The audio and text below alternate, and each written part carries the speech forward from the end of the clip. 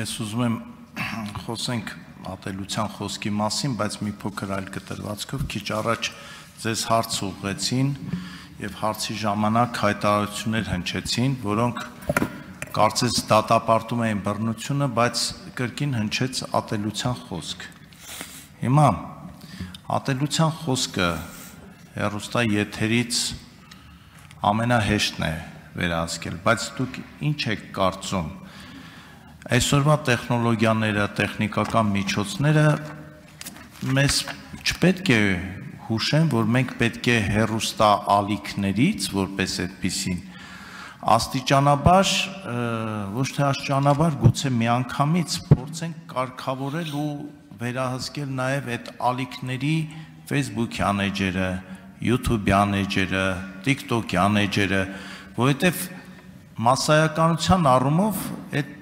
TikTok-յան էջերը, YouTube-յան էջերը ավելի շատ դիտումներ ունեն, քան հեռուստատեսային։ Մենք կենտրոնանում ենք ինչ-որ հաղորդումների, հեռուստալիքների վրա, ով ում սիրում, ով ում չի սիրում, բայց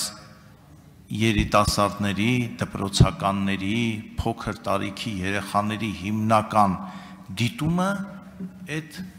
YouTube-ն է, TikTok-ն է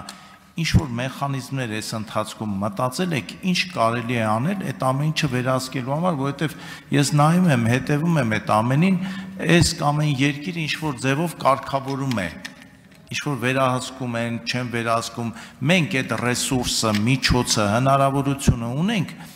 եւ հետո նորից հարց է առաջանում, լավ, եթե հերոստալիքների այդ YouTube-յան, TikTok-յան, չգիտեմ ինչյան ալիքները վերահսկենք, բայց կան ոչ գրանցված, ոչ հեղինակազորված հերոստալիքներ, ռադիոալիքներ, որոնք ինչ ուզում են տարածում են, այդ ամեն ինչը մենք ոնց ենք վերահսկելու։ Շնորհակալություն, պարոն Նազարյան։ Ես թրուցիկ ժամանակը քիչ է ասեցի, որ դրանք անպայման կարգավորման կարիք ունեն։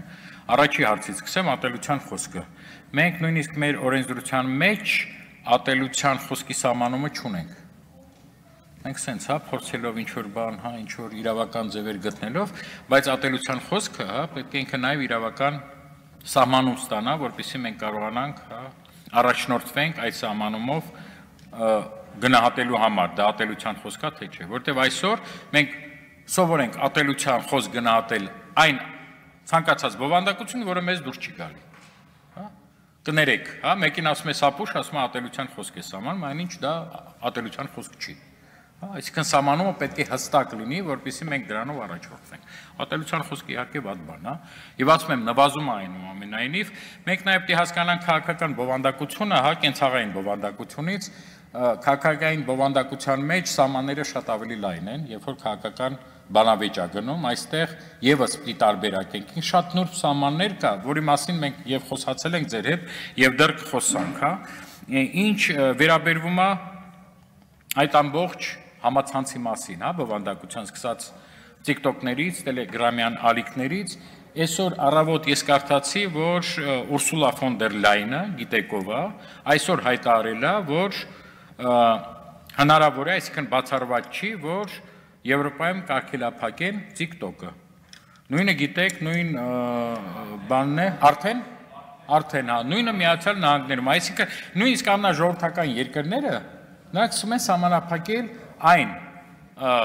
ալիքները կամ այն ցանցերը, որոնք վտանգներ են պարունակում ոչ թե քաղաքական շատ ժամանակ, հա, քաղաքական վտանգների չէ։ Այն հենց մարդկանց գիտակցության վրա ազդող բացասական բան են տալի։ Ես կարծում եմ, եթե նրանք դա անում են, մենք մենք էլ կարող ենք անել։ Չգիտեմ դրա տեխնիկական հնարավորությունների մասին, որովհետև դա կարծում եմ թանկ հաճույք է, այսպես ասած, բայց մենք մտածենք վտանգավոր բովանդակության հարթակների ազդեցությունը մեր հասարակությունի վրա սահմանափակելու մասին։ Միանշանակ այդպես է։ Ոնց անել, մի մասը կարող ենք, մի մասը եվրոպական դիրեկտիվներով արդեն կա։ Ինչի կա, որտեվ եթե նախկինում պետության ձեռքն էր ամբողջ կարգավորումը, որտեվ ամեն ինչ սահմանափակ էր սլոթերը, հա, հաճախականությունները, այսօր տեխնիկական, այսօր տեխնիկական այս ամբողջ հեղափոխությունը, հա, պայթյունային այդ զարգացումը բերեց նրան, որ այսօր պետությունը որևէ ազդեցություն այդ բաների վրա չունի բովանդակության։ Եվ ուրեմն ամբողջ աշխարհը ամնատարբեր ռեժիմները տեխնիկական վերահսկողությունից, այսինքն սլոտը քո ձեռներ ու ուզենայր կտայր, տպարանը քո ձեռքներ ու ուզենայր կտայր եւ դրանով էր այդ ցենզուրան հա առաջնորդվում այսօր ամբողջ աշխարհը անցնում է բովանդակային սահմանափակումներին մենք այստեղ կարծես մի քիչ ուշանում ենք շնորհակալություն Ձեզ եւ շնորհակալություն արձագանք ունեք պարոն Նազարյան համեցեք տեսեք մենք անդադար խոսում ենք այս տարին էլ արագ թրջում է անցած տարել մոտավոր նույն բովանդակությամբ մենք խոսեցինք